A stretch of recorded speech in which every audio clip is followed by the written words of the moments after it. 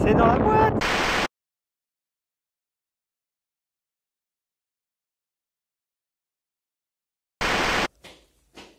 Tu me fais de me coiffer, hein?